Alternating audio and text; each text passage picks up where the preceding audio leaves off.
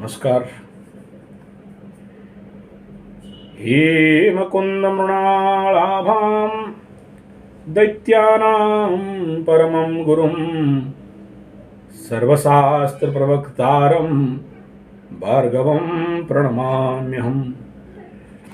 शुक्रदेव को प्रणाम करते हुए वृष राशि के अधिपति शुक्रदेव को प्रणाम करते हुए वृष राशि वालों का अप्रैल महीना में क्या राशिफल आ रहा है? किस प्रकार का आपका टाइम जोन रहेगा? किस दिन आप अच्छा काम कर सकते हो? क्या फलादेश लेके आ रहे हैं? सारे नौ ग्रह इसके ऊपर विशद विचार करेंगे। उससे पूर्व एक सूचना। आध्यात्म गुरुकुल में वेद, वेदांत, अष्टादश पुराण, कर्मकांड, पूजा पाठ इत्यादि प्रशिक्षण पाँच साल के लिए साधना जो युवा वर्ग इसमें करियर बनाना चाहते हैं, दाखिला के लिए संपर्क कर सकते हैं। ज्योतिष गुरुकुल में ज्योतिष विज्ञान और वास्तु, साथ में समुद्रिक विज्ञान, कपाल रेखा विज्ञान इत्यादि का साधना हेतु संपर्क कर सकते हैं। नया एडमिशन शुरू होने जा रहा है। कृषि गुरुकुल और स्वा, स्वादेशी स्वावलंबन गुरुकुल का भी इस प्रकार का साधना शिविर एडमिशन शुरू होने जा रहा है। संपर्क कर सकते हैं। अब विचार करते हैं वृष राशि। वृष राशि का अप्रैल महीना का राशिफल ग्रह गोचर इस प्रकार आपके राशि से द्वादश में राहु और छठा स्थान पे केतुदेव का गोचर। राशि परिवर्तन होंगे। आपके घर से राहु परिवर्तन करेंगे बारह में। और आपके छठा स्थान पे जाएँगे केतु। इस समय एकादश स्थान में सूर्यदेव और बुद्धदेव का गोचर होने वाला है। और गुरु बृहस्पति का भी आपका मीन राशि में गोचर होगा। अभी दसम में चल रहे हैं। शनिदेव नवम से दसम की ओर गोचर करेंगे। तो ये नौ के नौ ग्रह अप्रैल महीना में राशि परिवर्तन कर रहे हैं इसलिए इस महीना में एक कंक्रीट रिज़ल्ट तो नहीं आने वाला है लेकिन मिला जुला प्रभाव महीना का आधा दिन आ, आ, और बाकी आधा अलग अलग प्रभाव आएगा। और सूर्यदेव का आपके मेष राशि द्वादश भाव में भी चौदह अप्रैल को गोचर आठ अप्रैल को मंगलदेव कुंभ राशि में मकर राशि को परित्याग करके बारह तारीख को राहु और केतु आपके द्वादश और षष्ठ स्थान पे, तेरह तारीख को गुरु आपके एकादश स्थान पे और उनतीस तारीख को शनिदेव आपके दसम स्थान पे गोचर करने के लिए जा रहे हैं। तो सबसे पहले वृष राशि वालों का बात करेंगे। स्वास्थ्य हेल्थ इज़ वेल्थ स्वास्थ्य ही संपद है। शुक्र देव इस समय आपके राशि से इनका गोचर कुंभ राशि में होने वाला है। और यहाँ आपका राशि अधिपति गुरु बृहस्पति के साथ कुछ दिन रहेंगे और उसके बाद फिर मंगल के साथ, फिर शनि के साथ। तो अगर स्वास्थ्य का बात वृष राशि वालों के लिए कहा जाए, आपका स्वास्थ्य बहुत अच्छा तो नहीं कहा जाएगा, लेकिन सेवेंटी परसेंट तक स्वास्थ्य ठीक रहेगा। ये आपका राशि से द्वितीय धन स्थान का अगर बात करते हैं तो बुद्ध इस समय आपके निचस्थ गोचर करेंगे, लेकिन लाभ भाव में भी गोचर करेंगे तो इसलिए धन प्राप्ति में थोड़ा समस्या तो होगा।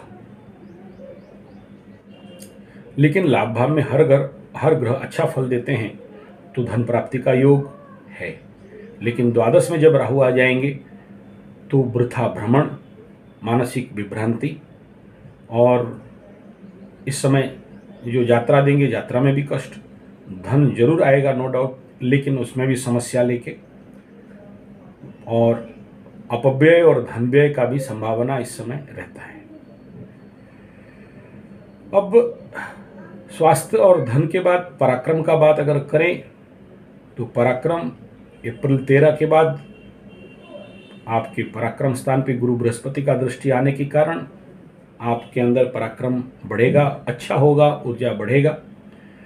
काम पे आप व्यस्त रहेंगे, कर्म व्यस्तता रहेगा और वहाँ से आपको पराक्रम के माध्यम से बॉडी का एनर्जी और ऊर्जा के माध्यम से भाई बहन इत्यादि के साथ अच्छा संपर्क दिख रहा है।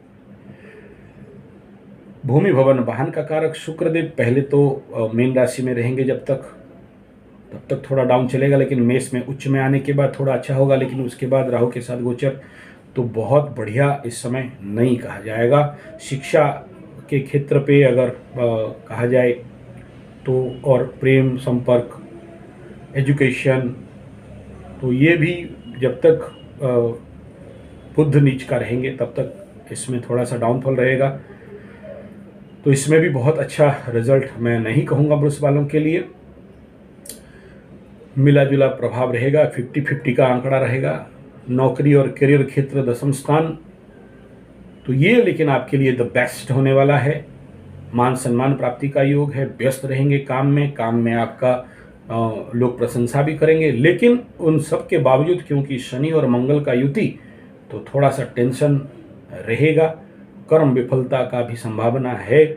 एजु, आपका इकोनॉमी एंड बेनिफिट का बात करें फिनांस का बात करें और पैसा का अगर बात करें तो ये भी आपका गुड कंडीशन पे रहेगा आएगा, लेकिन क्योंकि व्यय भाव भी आपका बहुत सुपर एक्टिवेट राहु के द्वारा हो रहा है, केतु का दृष्टि भी है, और फिर वहाँ शनिदेव का भी दृष्टि उनतीस तारीख में हो जाएगा। तो इस क्षेत्र पे मैं कहूँगा it is not so good वृषभ राशि वालों के लिए। वृषभ राशि वाले सबसे ज़्यादा समस्या लेके आ रहे हैं ये राहु के माध्यम से, और बाकी इनका स्थिति ले दे के ठीक है। और द्वादश में ही आपका ग्रहण होगा द्वादश छः बारह का एक्सिस में ग्रहण होने वाला है। तो इसलिए इस समय आपको हेल्थ के प्रति भी सावधानी बरतना ज़रूरी है। अपने आप को स्वास्थ्यवान रखने का पूरा प्रयास इस समय आपको करना है। यात्रा इत्यादि जितना अवॉइड कर सकें, उतना बढ़िया है।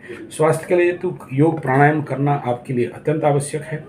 यात्रा इत्यादि में, भूमि, जो भी वाहन इत्यादि में आप यात्रा कर रहे हैं इसमें सावधान। बिना फालतू का पचड़ा का काम इस समय आपको बढ़ाएँगे, जिसमें धन तो आएगा, लेकिन कोई काम का नहीं, वो धन उसी क्षेत्र पर ही आपका खर्चा हो जाएगा।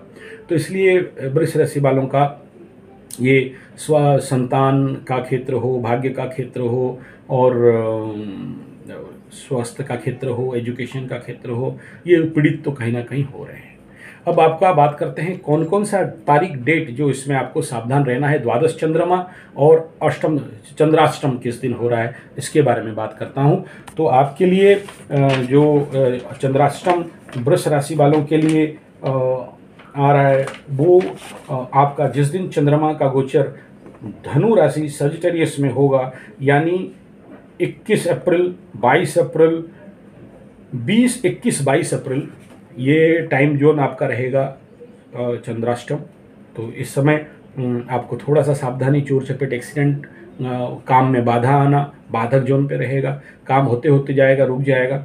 तो इसमें थोड़ा सा आप सोच समझ के काम करें।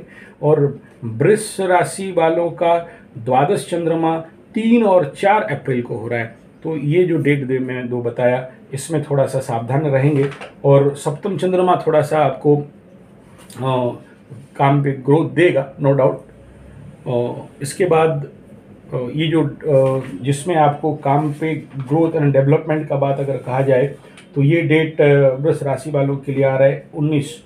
उन्नीस को बीस अठारह उन्नीस बीस। ये आपके लिए थोड़ा सा लॉकी पीरियड यहाँ से दिख रहा है।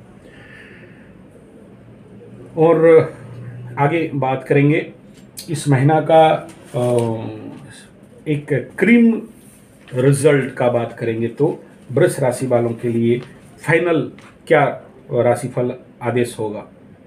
आपका कर्म क्षेत्र में आप बहुत मेहनत करेंगे और आगे भी जाएँगे मेहनत के माध्यम से। शरीर 50 परसेंट स्वास्थ्यवान रहेगा लेकिन मानसिक दुर्बलता इस समय आपको मिलेगा। आय व्यय फिफ्टी फिफ्टी रहेगा और नौकरी क्षेत्र में आपका स्थानांतर का भी संभावना दिख रहा है। व्यवसाय क्षेत्र में फल मध्यम रहेगा और एजुकेशन छात्रों के लिए बहुत अच्छा नहीं कहा जा सकता है। एक, दो, तीन को आपको धन प्राप्ति का योग है। तीन, चार, पाँच, व्यय योग, पाँच छ सात, आपका प्रसन्नता, मन प्रसन्न रहेगा, काम पे आगे बढ़ेंगे। आठ, नौ, दस थोड़ा सा मानसिक पराधीनता और डिप्रेशन टाइप आपको मिलेगा। दस, ग्यारह, बारह, कार्य में सफल और सिद्धि योग बता रहा है। बारह, तेरह, चौदह झमेला, झगड़ा झंझट से दूर रहें, वाद विवाद से दूर रहें। चौदह, पंद्रह, सोलह, आप अवसादग्रस्त हो सकते हैं, इसलिए मन को प्रसन्न रखने का प्रयास करें। सोलह, सत्रह, अठारह, शत्रु के द्वारा हानि और शत्रु का भी हानि, अनिष्ट योग। अठारह, उन्नीस, इस समय नूतन बंधु मिलन अच्छा भोजन प्राप्ति और नूतन वस्त्र का प्राप्ति का भी योग है। बीस, इक्कीस, बाईस, तेईस, शारीरिक पीड़ा, कार्य, हानि, धन, क्षय और मानसिक अवसाद, चिंताग्रस्तता, तेईस, चौबीस, पच्चीस, देव पूजा, धर्म क्षेत्र में आगे बढ़ना, पच्चीस, छब्बीस, सत्ताईस, इस समय भी बहुत अच्छा कार्य सिद्धि का भी योग है, लेकिन बाधा है। सत्ताईस, अट्ठाईस, उनतीस अर्थ लाभ ज़रूर होगा, लेकिन तीस को धन क्षय का भी योग बता रहा है।